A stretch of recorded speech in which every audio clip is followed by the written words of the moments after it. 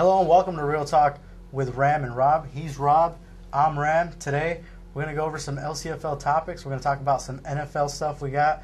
Uh, we got a couple hot topics in the NFL, in the LCFL, and out of the NFL that we want to talk about. We want to discuss and we want to go over here. Today, first we're going to start it off by going over some of the this weekend's games out of the LCFL. Uh, we're going to start it off with the Bears. Uh, excuse me, the Bears and the Vikings. That game was a game that the Vikings pretty much waltzed all over the Antelope Valley Vikings. The Vikings dropped to 0 and 5, 70 to nothing in that game. Was out of control after the first after the first kickoff. I was there. I broadcast that game, and the Vikings were short on the offensive line. They were starting their third quarterback, but that's no excuse for getting blown away 70 to nothing. The Bears recorded their third shutout of the year. They've shut out three opponents. They've allowed a total of 16 points in five games to average 3.8 points a game against. That is impressive. But the Vikings, ever ever since their loss to the Dolphins, well, ever since their loss to the Long Beach Lions, that was in week two, they seem to be a lost team looking for their soul. And right now, they haven't found it. They've lost three more since then, and they've dropped to the bottom of the league. Oh, I'm gonna tell you, this is a team, the Antelope Valley Vikings, that has just been in disarray all season long. Uh, I'm gonna I'm gonna give you two things for the Antelope Valley Vikings: Darnell Clay, Mr. RTSN himself, and Leroy Johnson. Those are the only only two guys on that team that have come up to play that have been consistent all season long. That has been the only consistency on that team this entire season. You look at the roster, you look at the depth on the Antelope Valley Vikings. Not a lot of depth on that team. Tw- about 28, 32 players on that team, and it's it's hurt them all season long. The National City Bears, they're they look to be um, firing on all cylinders right now. Yeah, I spoke to I spoke to Darnell after the game, and he put it eloquently. He said, "There's no excuse, but we didn't play well, and this game there's no positives to come out of this game." And I agree with him. There was no positives to come out. Nothing to look forward to. The Vikings are going into bye week right now, and they they really have a lot to think about because they're going to be facing another winless team. If they want to finally get out of that sad sack of losing that they've been in, they got to find a way to pull themselves together and get one. Well, the Antelope Valley Vikings are headed into a bye next week, and they need to get things together. They need to get on the right track if they're going to want to uh, pick up a victory here anytime soon. Uh, they, they go to 0 and, 0 and 5. The National City Bears go to 4 and 1 on the season. Um, now let's jump it over to the Inglewood Blackhawks, the defending LCFL champions, the team that I am calling in the LCFL the number one team, but we'll get to that a little bit later. Number one team in the LCFL, and I've talked to a lot of people around the LCFL, and a lot of people disagree with me, but defending uh, LCFL champions, they're undefeated, 63 to 6 victory on the road, and I'm going to keep calling them the number one team until somebody can prove that they can knock off the Inglewood Blackhawks. I was making a point earlier that the Blackhawks have had home games against their tougher opponents and away games against their much easier opponents. It seems that's the way the schedule's trending. So I'm really interested in seeing how they play those teams that they barely beat, like the Cobras and the Bears again. But right now, the Blackhawks, they, they face a team like the Eagles, they whip them easily. So the Blackhawks are in very good shape to set themselves up as the number one team. But you and I know best, you and I know very well, Ramiro, that just because a team goes undefeated in the regular season doesn't mean they're going to win in the playoffs. The Blackhawks know this very well because last year Oh, they yeah. knocked off the undefeated team in the playoffs. Oh, that's absolutely right. Last year, uh, in the regular season matchup between the uh, the the Orange County Ravens, they went a perfect thirteen or ten and zero in the regular season, and then come come playoff time, the Inglewood Blackhawks knocked them off in the second round of the playoffs. So. Just because you, said it right, just because you go undefeated in the regular season, it doesn't it doesn't mean you're going to go undefeated the entire season. So, the Inglewood Blackhawks they're looking to go undefeated. They're looking to get that championship back. They're looking to go back to back for the first time, and under under Coach Tony Reed. And right now, it looks like, I mean, right now, top of the LCFL, nobody has knocked them off yet, and they continue to put it on teams and they continue to play defense. But their toughest uh, matchup still ahead up this season. Inglewood Blackhawks they, they remain undefeated. Now let's go to the let's look at the the game that I was at up in uh, Vista, California. That was between the the Cobras and the Lions. I saw a lot of things out of the, out of North County Cobras, and, and honestly, I if, when we look at the power rankings in the LCFL, I know we got the Co- the Inglewood Blackhawks at number one, but honestly, I think I'm gonna have to go with the Cobras at no, at the number two spot from now on because the the Cobras, after falling to 0 and 2, just what they've done the last three games, unbelievable. The, the, the led by their general, by their veteran quarterback Jerry Garrett. He leads the LCFL in passing yards, leads the LCFL in passing touchdowns. Uh, 11 touchdowns to just three interceptions. This guy is having himself an MVP type of season. Courtney Woods in the backfield running the football. You look at the receiving corps. Their receiving corps is one of the best receive, receiving corps in the entire LCFL. And there's you look at what they did last weekend. DeAndre Alexander, uh, Terrence Webster. Uh, the list goes on with those guys over there in, in at North County. That I am I was very impressed with what I saw over there in North County this Saturday. Remember, partner, when we made our predictions last week, you said Lions take it, and I said Cobras. Watch out for that Cobras you team. You did. The Cobras are on a hot streak right now, and I'm going to make a point about them later on in the show. But them beating the Lions solidified themselves as one of the top teams. That's another topic we're going to go about about the Lions later on. But the Cobras Yeah. have an established offense. They have a very stout defense, and they have momentum on their side right now. Momentum. You, you couldn't have said any better. They got all the momentum. They got a quarterback who's playing MVP type football right now, and and the team around him believes in Jerry Garrett. Not only does the team around him, but the league around the league uh, knows what Jerry Garrett's all about. This guy is a, is a veteran savvy guy. He's a class act type of quarterback, and this guy can get the job done. And on the flip side, we're talking about the North County Cobras. They're firing out. They're right now. They look like they're the team to beat right now. Uh, if the Inglewood Blackhawks and the North County Cobras were to play right now, I would put my money on the North County Cobras right right now as of today. It's now remember, it's not about what you did yesterday or what you did the week before. It's what can you do for me today. I'm going with the North. I would go with the North County Cobras right right now, just because what I've seen the last couple of weeks defensively. They look sound. Offensively, they look. Everybody looks to be in sync and in rhythm. And on the flip side, the Long Beach Lions. They started off their season two and one. They had their problems at quarterback. Now the problems are starting to look a little bit deeper. Defensively, two weeks ago against the San Diego Stallions, they gave up 38 points. Last week, they gave up another 31 points. They look like they cannot stop the run. Uh, the, the pass, Jerry Garrett just pretty much dissected that defense apart all game long. Missed tackles from the linebackers. Courtney Woods getting to the second level pretty much all game long. Uh, there was a couple of, of bright spots on that defense. Ty- Tyrell Lewis had himself a decent game at the cornerback position. Uh, Michael Spicer had himself a first big game, and and Jerome Saxon a first big game with the with the Lions, both uh, having six tackles alone. But a lot, there's a lot of problems, and that's something we're going to talk about a little bit later on in the show about the Long Beach Lions. Let's uh, jump it over to the San Diego Stallions and the California Dolphins. The Stallions, 34 to 20. They they just edged the Dolphins out there. Stallions, if the playoffs began today, they'd be on the outside looking in, so they needed this win. They had to go into a place to play the Dolphins. The Dolphins are in total disarray right now. Ever since their big blowout loss to the Blackhawks, they have not been able to put things together. They got kicked out of their own stadium. They can't they can't run the ball efficiently. They they don't play defense like they should. They're just not doing anything the right way right now, and the Stallions took advantage of that. The Dolphins have one lone win, and that came against the Vikings in Antelope Valley. And the Vikings' depth, obviously, we know their depth is very bad right now. So that may be their one win of the season, unless they get lucky against the Eagles, maybe. But that's another thing. The, the Stallions, they've had so many opportunities to win other games this year, fall apart at the end. So good to see them get a win here and lock it up and not blow it at the end. Yeah, I mean, talked to Ray over there with the, with uh, the uh, San Diego Stallions. Brandon Newman was in the game the entire game. He did have the two turnovers, but he accounted for two touchdowns in that game. And, and this guy is just a playmaker.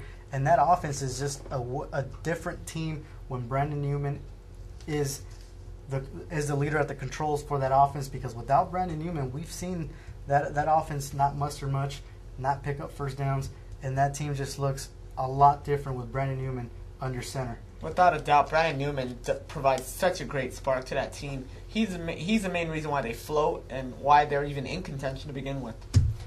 But then you look at defensively for for the San Diego Stallions. Everybody talks about Eddie Hunter as one of the top defensive backs in the entire LCFL out of the Blackhawks. Um, Cash Tone. They talk a lot, a lot about other guys uh, around the league as Thyron Lewis, Thyron Lewis. Uh, some of the top uh, cornerbacks, uh, Spider Man over there with the Bears. They talk about these guys as the top uh, top defenders. There's one guy that nobody talks about, and that's George Mosley of the San Diego Stallions. This guy does so much for this team. He's a punt returner. He's a, he's a, a cornerback that can cover. He has recovery speed. This guy is a tremendous athlete at the defensive spot, and, and that's one guy that does not get his name called a lot. Without a doubt, he doesn't get his name called as much because right now the Stallions are kind of hovering beneath the surface. No one's really paying attention to them. They've gotten knocked around by the bigger teams and they've beat up on the lesser teams. So the Stallions are not really going to get much notice until they start racking up wins against the contending teams. Yeah, well, I talked. You know, I had an opportunity a couple of weeks ago to talk to Coach Limbrick after the game, and he said, "Hey, come playoff time, not a lot of teams are going to want to face the San Diego Stallions because of what they do."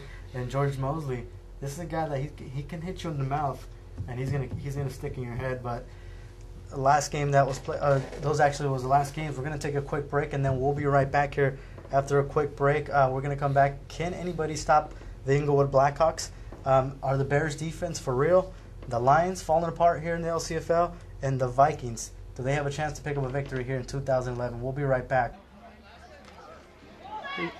Big old play action. Going to air it out. This side has a receiver, and that is caught, juggled, and caught for a touchdown.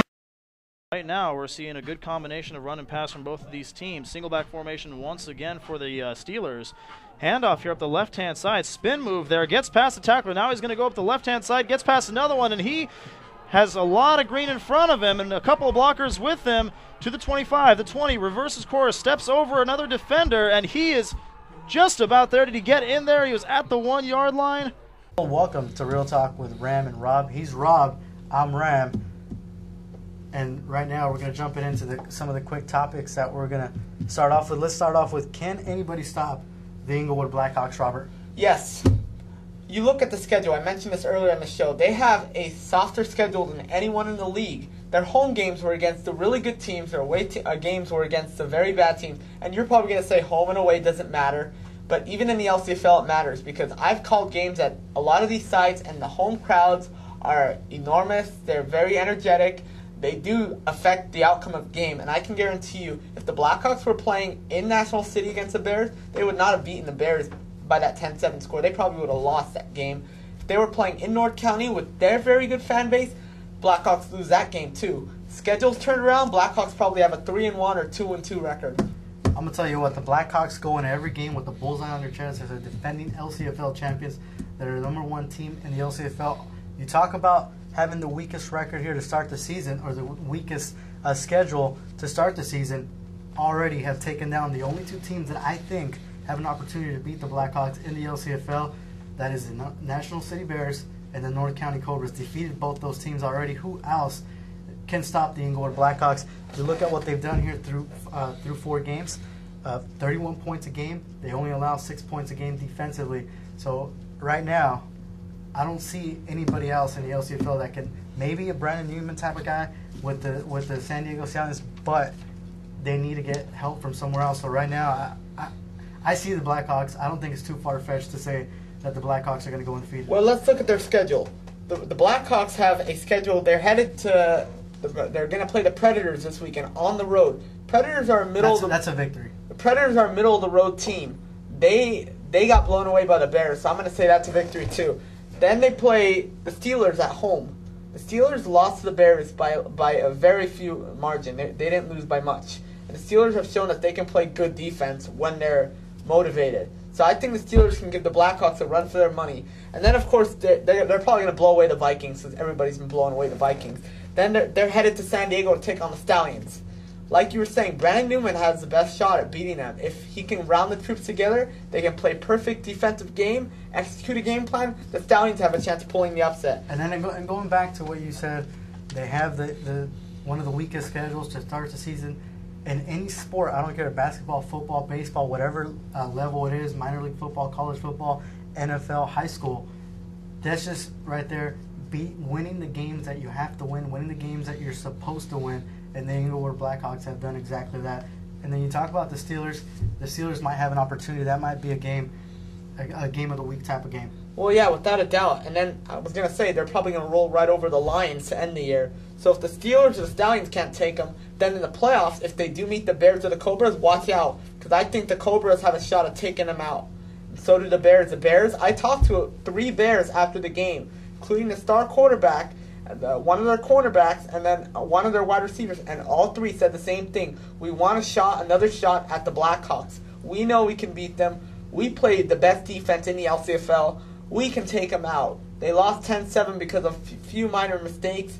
They want to make amends for that, and just like last year's Blackhawks Ravens storyline, I think that will happen if, if they meet again. You know, everybody always says that in every sport, when somebody loses to a team, they always want to avenge their loss, and they always say, "Hey, we want another opportunity." Fact of the matter is, now in order to get another chance at the number one team in the LCFL, that is the Inglewood Blackhawks, you're gonna have to go through the playoffs, and and tr- hopefully you face the Inglewood Blackhawks. But I guarantee you this: nobody wants to face the Inglewood Blackhawks in the playoffs because let's let's face it, they're the number one team in the LCFL. They're, they're I know a lot of people say that that their offensive line is this and it's that, and it, they have issues offen- on the offensive line. They're not the same team they were last year. That's obviously they're they're not the same the same team that they were last year. Solomon Jones not having the same season they were, but there's other guys that are contributing. They have the same quarterback in Devin Hollins, leads the league in passer rating in the in the LCFL. Um,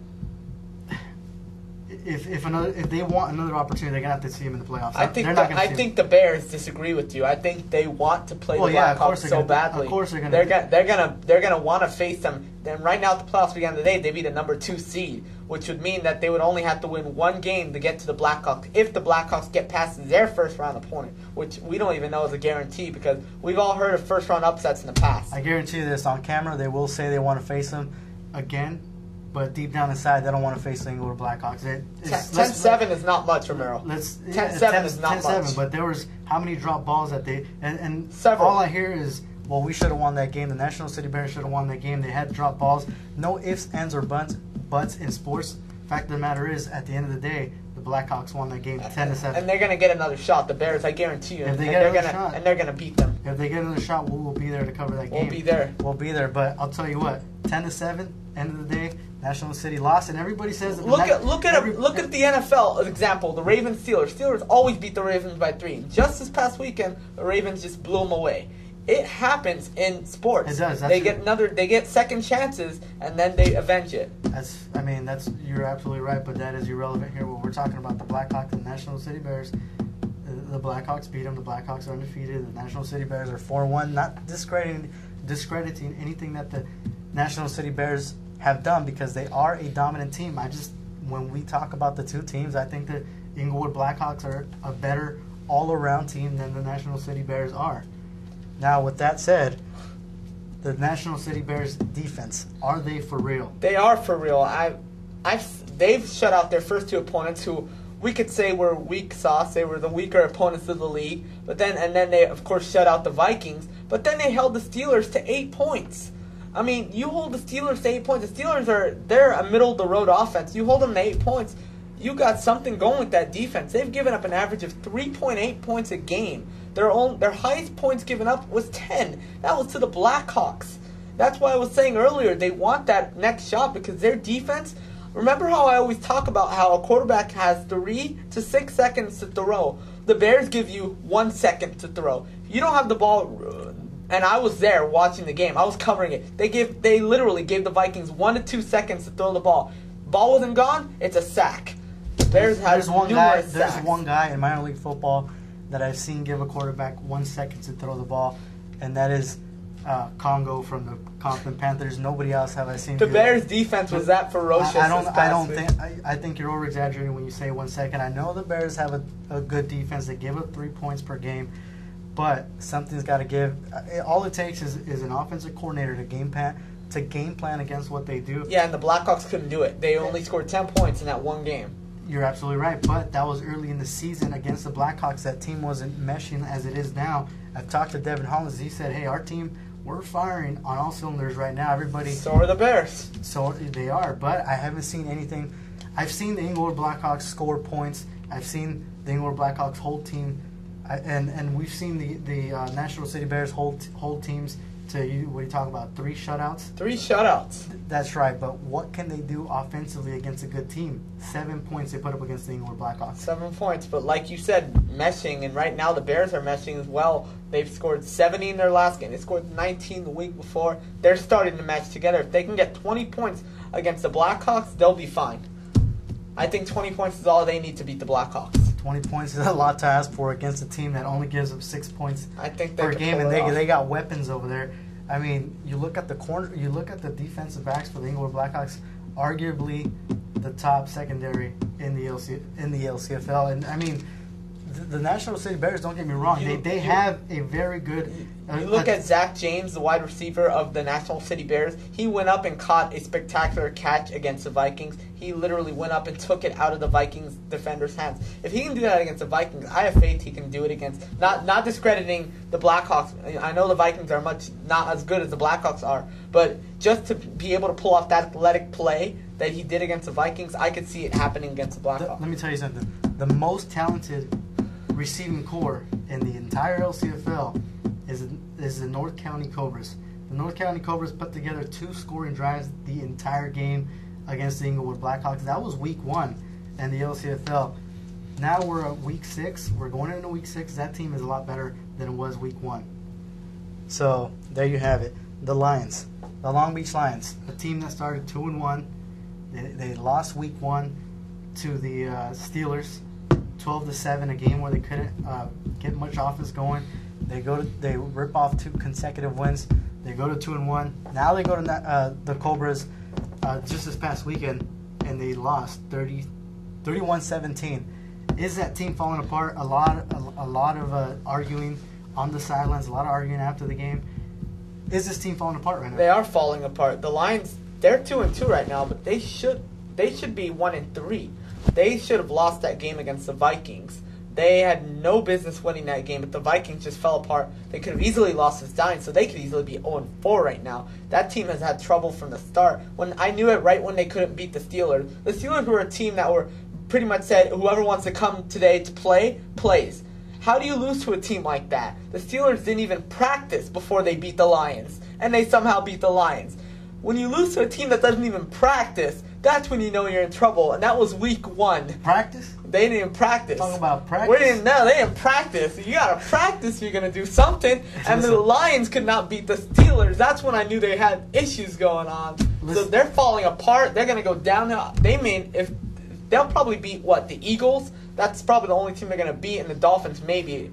The I'll rest tell, of the year. I'll tell you what. I've, I've watched the Long Beach Lions closely this entire season. I've covered all their all their games except that first game against uh, the Steelers.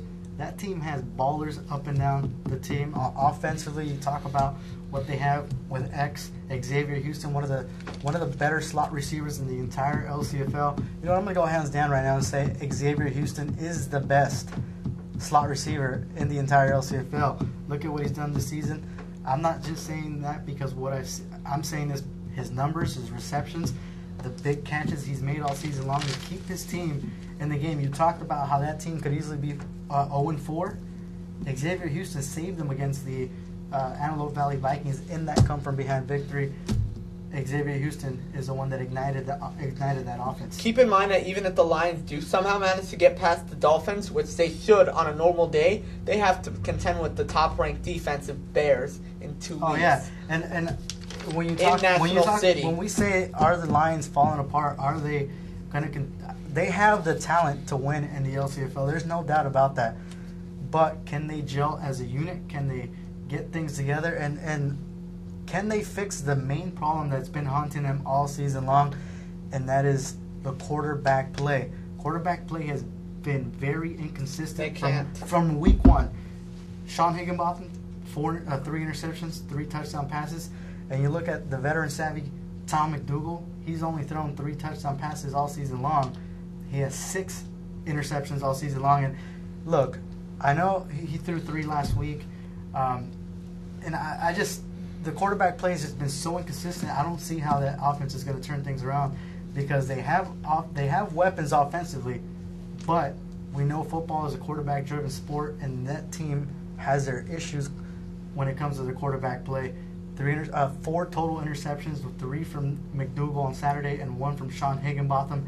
And the thing I don't like about that game or what happened, what transpired during that course of that game is I talked to some people, I talked to some unnamed sources, people close to the situation, and they said that their quarterback, Tom McDougal, went in there injured. Why do you start an injured quarterback in a big game, in a game that can pretty much put you at the middle of the pack, put you maybe at the number two, three spot? Maybe they didn't Higginbotham.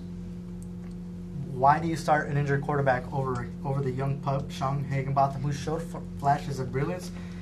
But then McDougal, it was apparent he's struggling through the course of the game, three and a half quarters, and then three minutes left in the game, they, they go to the young pup, Sean Higginbotham, and it was too late. By that time, it was already three minutes, only three minutes remaining. They were down by three scores. I don't know if I like that decision to stick with McDougal for that long and then bring in Hig- Higginbotham. But when we look at the Long Beach Lions, I think I think they're maybe they're going to be a, at best a five and five team. As I said, if they can fix their quarterback issues, they may go six and four, but at best five and five. And that's a first round exit, most likely. Because they probably will make the playoffs unless the Stallions steal that last spot from them. But then you'll have to contend with the Cobras or maybe the, the Predators, whoever finishes in three, four spots. Vikings, do they have any chance of winning here in 2011? Robert, we're, let's start with you. They have one chance, and that's in two weeks against the Eagles. They can't get it done then, and scratch them off the board the rest of the year because after the Eagles, they host the Predators, who, depending on what day of the week it is, they could be good Predators or the bad Predators. They're like a good twin, evil twin type of team. Then they have to go to Martin Luther King Jr. Stadium to take on the Blackhawks, which they'll most likely get blown away over there. And then they're gonna host the Steelers, who are one of the another top defensive team in the league. So You know what?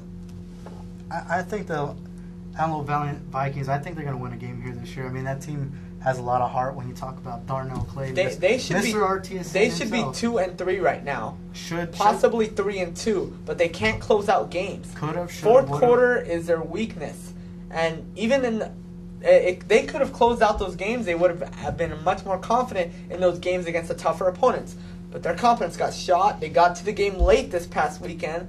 They didn't have much time to warm up, and then the Bears were just too much for them. I mean, you look at They, guys like. they, sorry to cut you off. They didn't even start Brandon Mim. They didn't start well, I don't even know if Brandon Mims is even on that team. I don't think he's on the team anymore. They don't have that team is a team. Lance DeBean was not there this past weekend. That's a team that does not have a quarterback. They haven't had a quarterback, uh, a regular quarterback all season long. They've went with um, a, a, a receiver, a guy that was playing receiver at quarterback. They had Brandon Mims at quarterback. They've had this is a team that's played four quarterbacks this season. Uh, Darnell Clay, you've got to give this guy, uh, you got to give this guy props. That guy's a beast. Well, Darnell, I always give him props. I mean, he knows exactly what it's like to play quarterback now. I saw one of his posts, and he's like, "I know what it's like to be a play Well, quarterback Uh, now." you got to give it up. That guy has heart. Uh, second half, he was stuck in there. To, they stuck him in there, the Wolves, pretty much. And yeah, I had a couple of words with Darnell Clay. Said, I got beat up in that game, and it was the longest football game of my entire football career. Uh, just could not get anything going. They had Darnell Clay at, at quarterback. This is the guy that plays wide receiver. yeah, and and then Leroy Johnson. Those two guys are the two consistencies of that football team. But I think they will, by the end of this, by come season's end, I think they will pick up a victory, and and, and I think they'll go maybe uh, one and nine, two and eight at yeah, I see that happening. Yeah, they they play the Eagles at home. That's a te- That's a game they should win because the Eagles have not been close in any of their three games so far this year. That's gonna wrap it up for us here on Real Talk with Ram and Rob. He's Rob. I'm Ram. If you guys have any questions, go ahead and feel free to email us. Uh, Ramiro at realtalksn.com, Robert H at realtalksn.com, or you can also email us at info at realtalksn.com. Don't forget to visit our website, realtalksn.com, of course, or check us out on Facebook, Real Talk Sports Network, or Twitter at Real Talk SN. You cannot get enough of Real Talk Sports Network. For Rob, I'm Ram. Thank you much. Thank you guys for joining us here tonight. Hope you guys have a good night.